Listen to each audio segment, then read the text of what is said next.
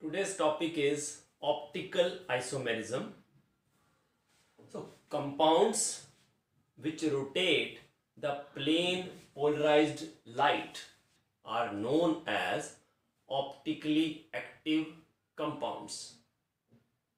And that rotation, angle of rotation, is measured in degree. That angle of rotation is measured in degrees. And that is called angle of rotation. And this angle of rotation of an optically active compound is measured by polarimeter. In order to place angle of rotation on standard basis chemists calculate specific rotation what is this? Specific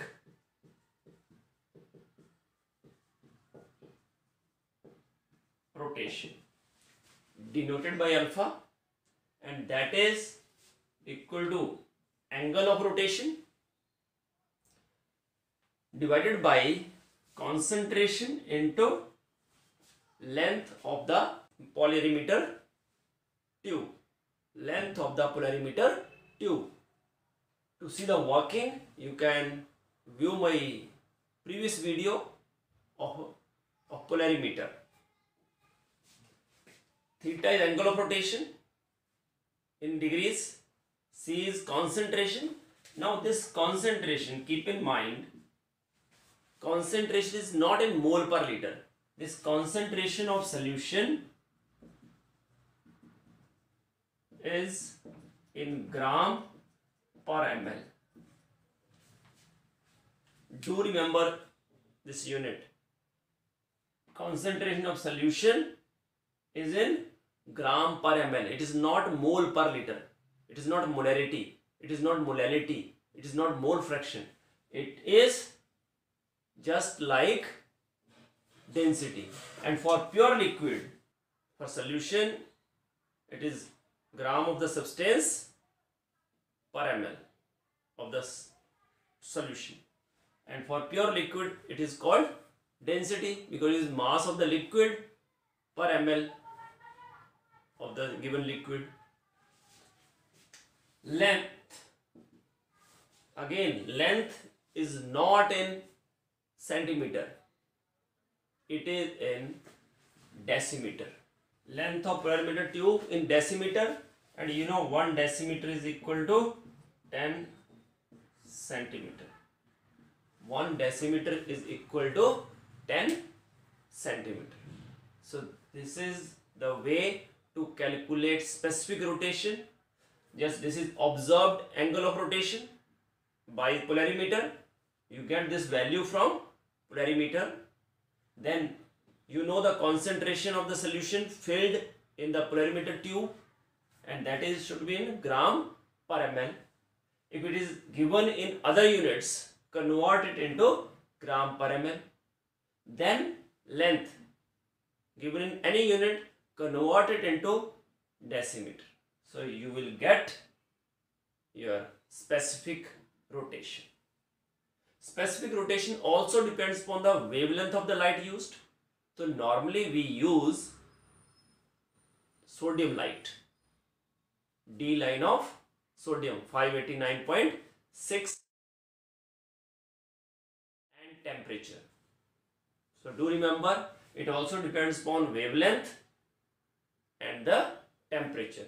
But we fix wavelength and temperature. That's why we will not write it in this expression. So normally we write it as D25. That means we use D line of the sodium lamp whose wavelength is 589.6. This lambda of sodium light 589.6 and at 25 degrees Celsius. So this is the way to calculate specific rotation. This is the question on specific rotation. See, if a solution of a compound that is 20 gram per 100 ml of solution has measured rotation of plus 10 degree in a 2 decimeter long sample tube, then what is the specific rotation of the compound? As in this case, we have to calculate specific rotation. Lambda and temperature is not mentioned. That means lambda and temperature is fixed. In the expression, we write D line of sodium that has wavelength of 589.6 nanometer and temperature 25 degrees Celsius. Here we write lambda T. They are fixed because it is not given and that is equal to theta divided by C into L. This is angle of rotation of polarimeter that is given plus 10 degree and C what is concentration? Concentration is in gram per ml. But here it is 20 gram in 100 ml. So we write it like this. so this is C 0.2 gram per ml. Then length is already in decimeter. So no no need to convert in any other unit now we write it in this expression.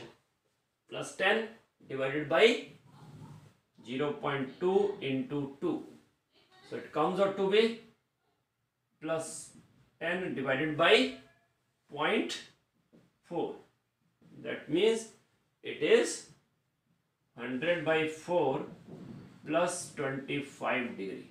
Specific rotation is also reported in degree but its actual units are degree centimeter square per